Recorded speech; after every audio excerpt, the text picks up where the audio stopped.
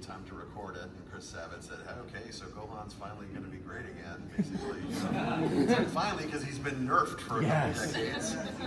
So yeah, I don't think anyone was more excited than I was to have an opportunity to play the character where he's he's, he's going to have a moment.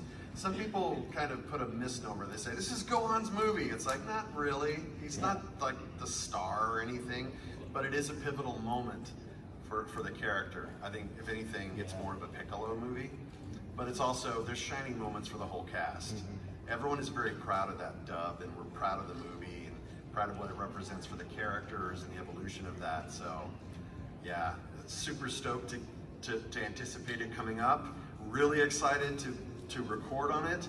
And then the big payoff is sitting in an IMAX theater packed with fans have that moment come on screen like, yes!